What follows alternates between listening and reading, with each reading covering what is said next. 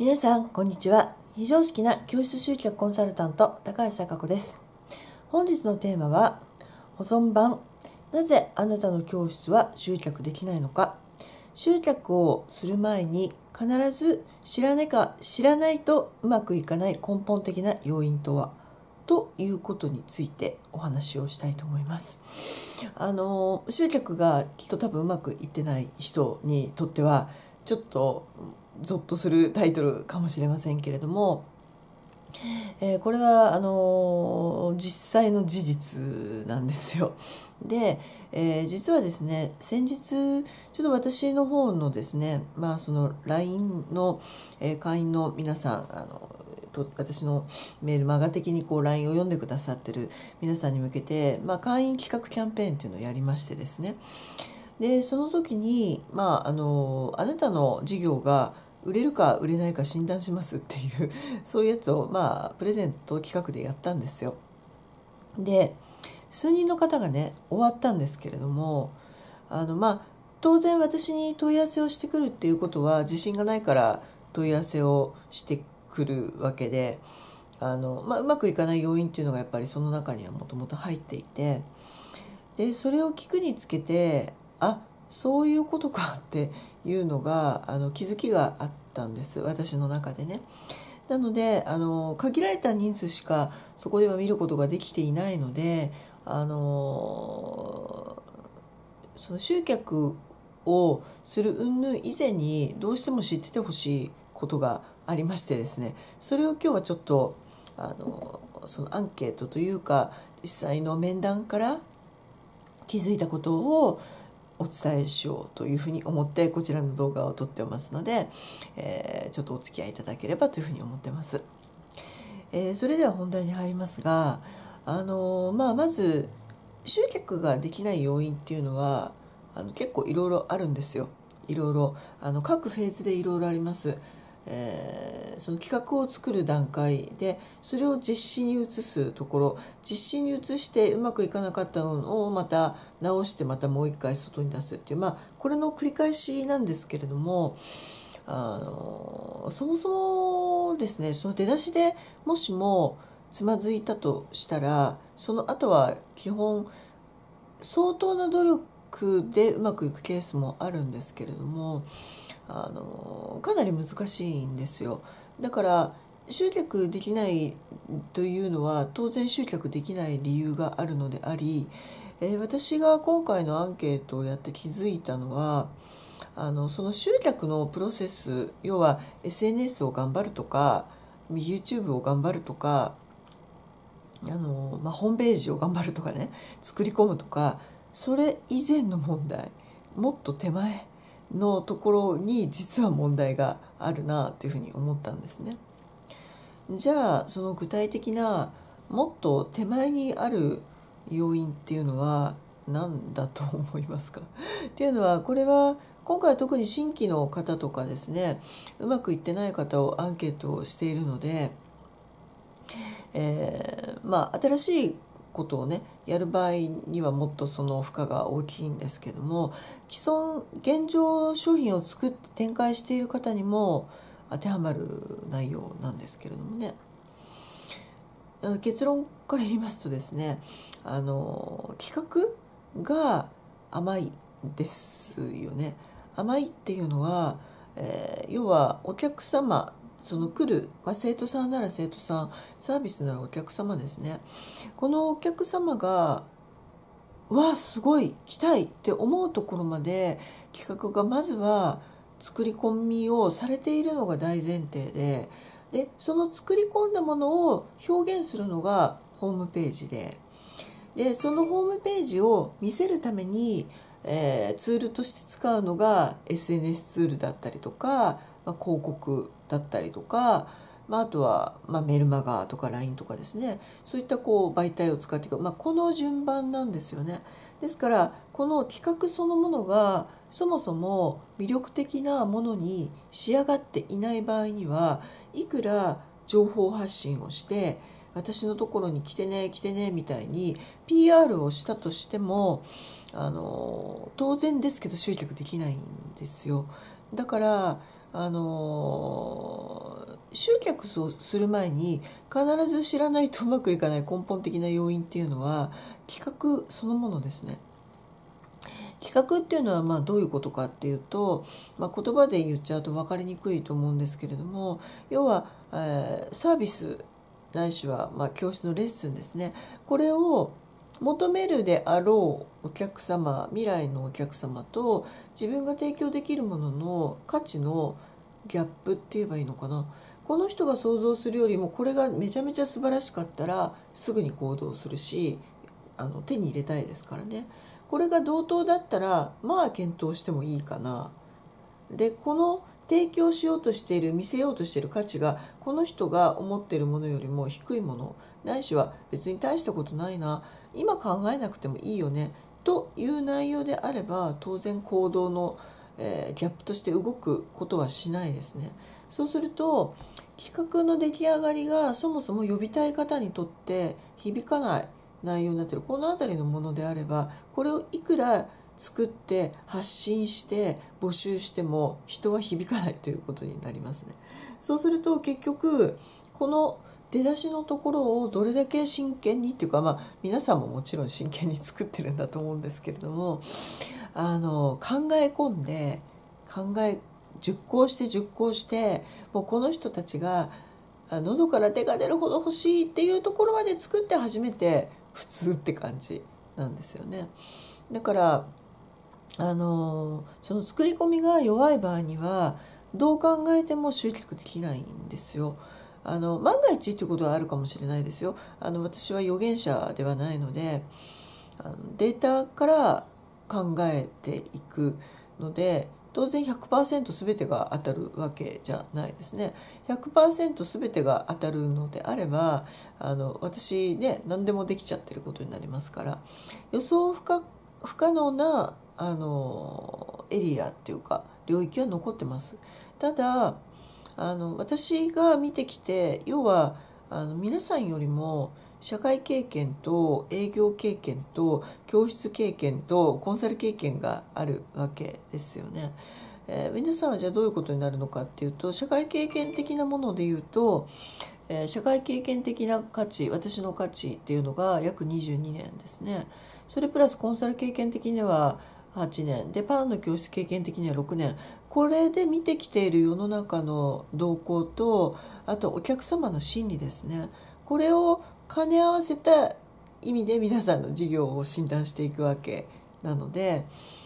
まあ売れる売れないは分かりますよね。うん、そもそもスタートラインに立ててないという内容で外に出してしまっている方も非常に多いんですよ教室の先生の場合には。そうすると当たり前なんですけどどんなに Facebook を駆使しようがどんなに Instagram どんなにブログを頑張ってどんなに動画やってもそもそもの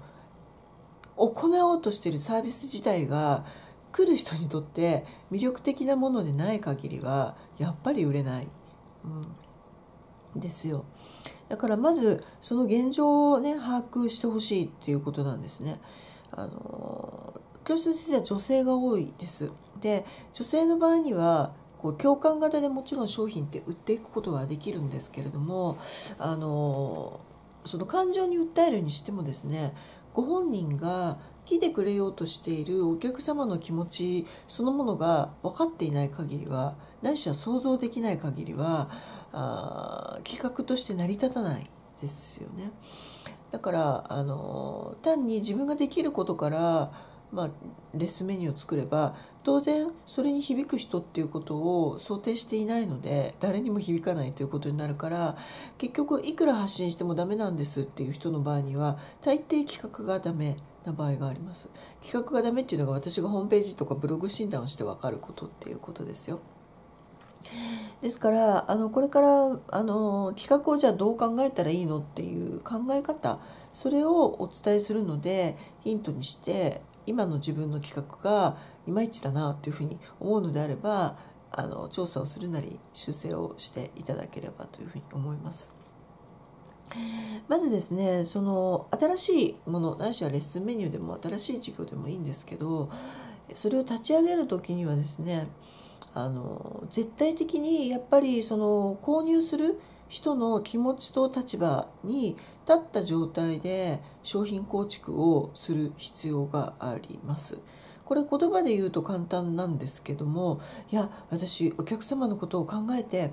あの作ってますとかって言われるんですけれども私が診断をするにどう考えても自分が来てほしい来てね来てねっていう状態で、えー、商品が構成されてるっていうふうに判断せざるを得ないような内容になってるだからあのなんとなく頭ではそういう人を想定してますとかって言ってるんですけれども本当にその人たちが望む望みが分かって作っているのか作っていないのかっていうのはとても大きなあのギャップになります。例えばうん、そうですね。じゃあちょっと分かりやすいあの実例じゃないですよ。実例じゃないけど分かりやすい感じで言うと、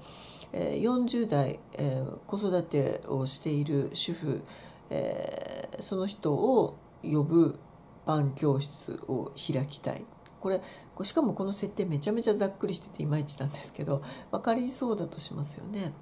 そうするとその人が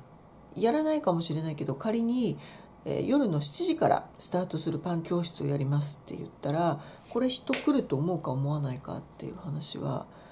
あ当然来ないのは分かりますよね。今分かりやすい例で言いましたから。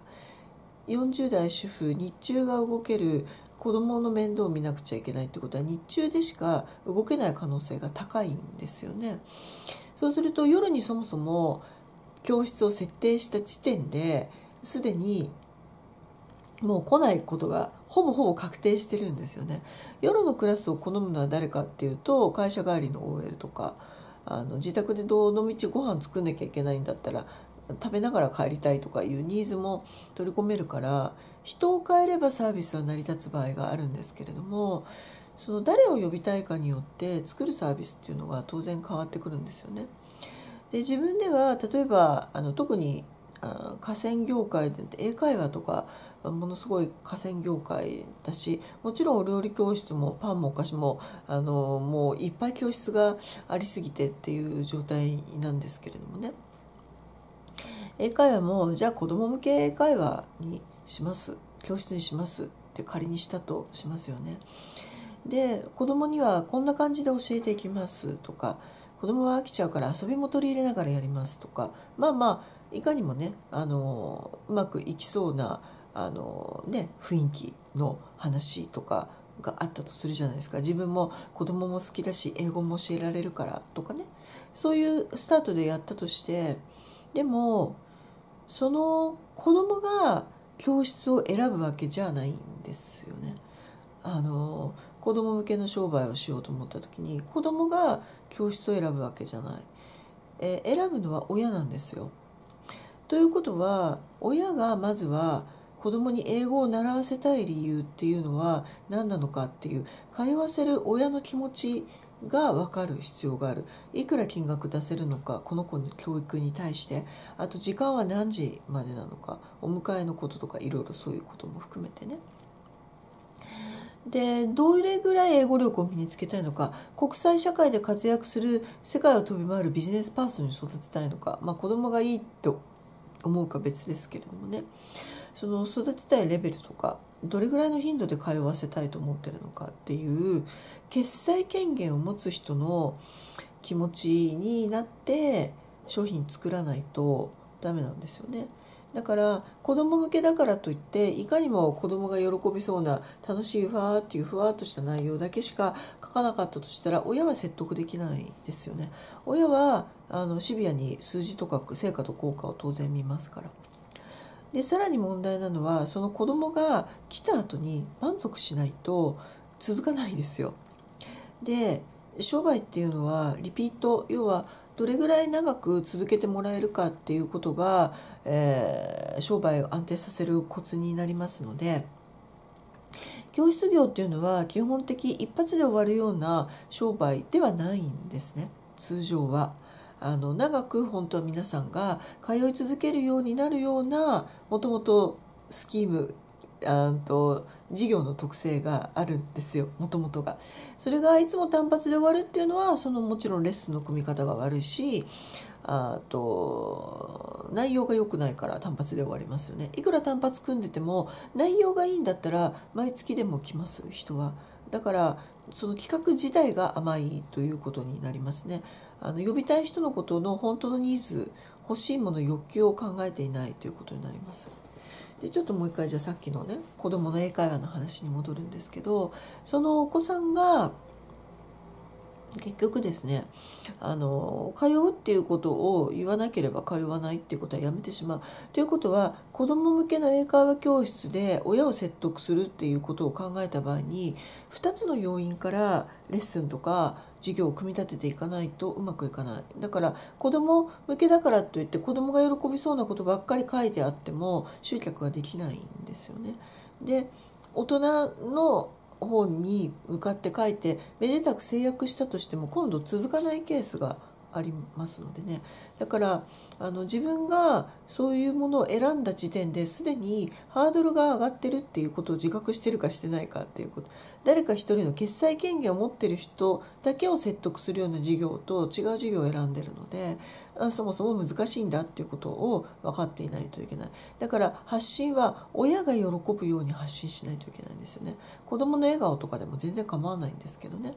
親にとって子供を英会話教室に通わせるメリットこれがなくてはダメだったりとかします。あとは例えばそのターゲット属性を絞った場合に今のは子どもの話なんでじゃあ今度は大人っていうことでね。大人向けまあ大人っていうのもまあ料理教室で大人っていうのはまあ割と普通なんであれなんですけれども例えばピアノとかねあのそういうこう今までは子供がメインで教えるっていう世の中の常識だったのを今度大人にずらすっていうことにする場合にですね当然その子供が望む、えー、上達の度合いと大人が望む、えー、上達の度合いと通う動機っていうのは違いますよね。子供に習わせたい親の気持ちじゃなくて今度はその本人大人だからその本人がなぜ今大人になった今ピアノに習いたいのかとかねこの要因はご本人が教えられる内容そのものよりもその人がどうして習いたいのかっていう動機を掘り下げられる想像力がないとあの商品構成作れないんですよね。だからその商品構成が作れないのに自分が思いついてよし子供じゃない今度は大人の教室だとか言って大人のためのピアノ教室って書いたとしても来ないですよ人。あの根源的な欲求を理解しない限りはその人たちがなぜじゃあ大人になってピアノを習いたいのかとかですね、まあ、ちなみに私がサックスをやり始めた理由っていうのはあの楽器はちゃんとやったことはなかったんですけれどもあの、まあ、パーティーで吹きたいっていうふうに思った時に、まあ、吹き弾きたいというか演奏を披露したいと思った時に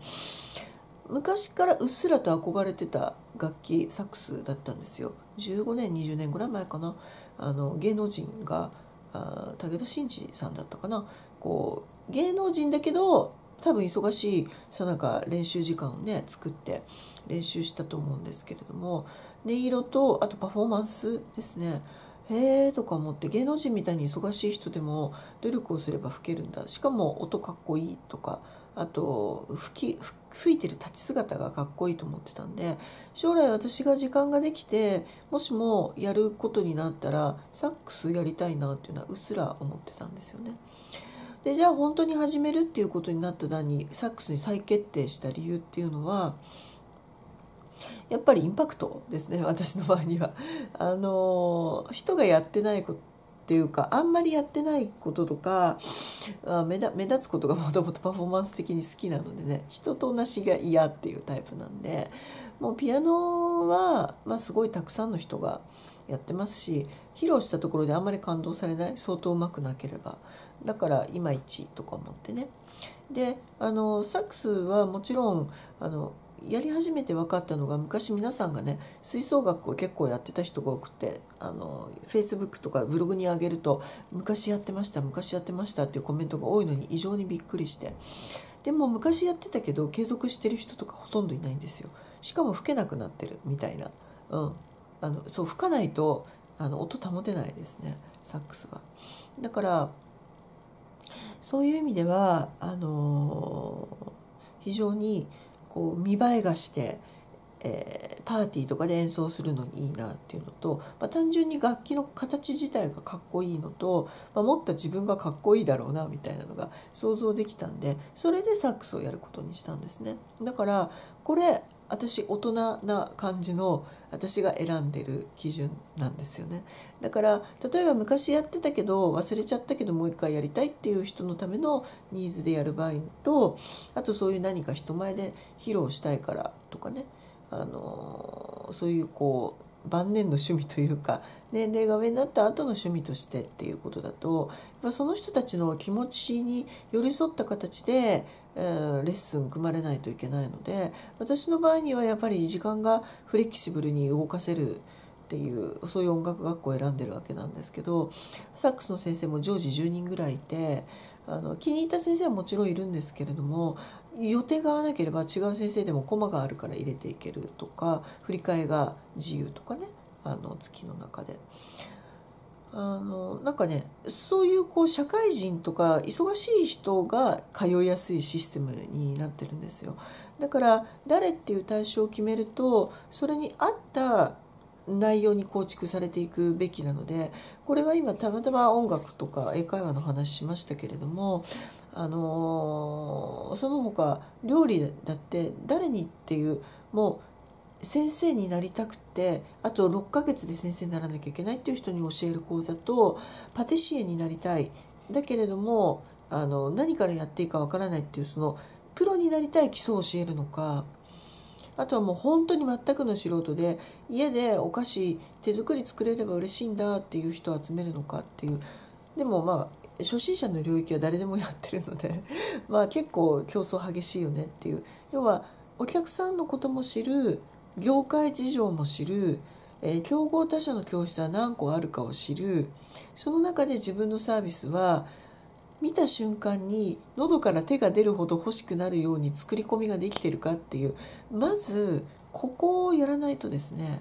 あのいくらね集客してもねあの難しいんですよ。お化粧のねファンデーションの基礎基礎の顔がボコボコだったら当然ボコボコになるじゃないですか。あのメイクさんがすごい上手なのはそのボコボコをちゃんと鳴らした上で下地きれいに整えてからメイクしていくから女優さんとか綺麗になるんですよね。あの女優さんとか肌はすごい酷使するからあのもうライトであれってボコボコが本当らしいですよ。だけど CM 撮影とかねそういう時にはものすごい綺麗な顔でなるのはメイクさんの力ですね。ですからまず下地と言われるその根幹の部分のコンセプトと言われる内容ないしは企画と言われるとこ。ここがもうすでに集客できる内容に仕上がってるか仕上がってないかで勝負が決まってるっていう。だから集客できないっていうのはツールの使い方レベルじゃなくて根幹的なところを直さないとそもそもできない。って可能性があることに気づいてほしくてですね。ご自身の事業の見直し。あの自分がターゲットとする方が本当に喉から手が出るほど欲しい内容に仕上がってるかどうかっていうのも今一度点検と確認をしていただければなというふうに思い本日はそんな話をしてみました、えー、ご参考になさってください。それでは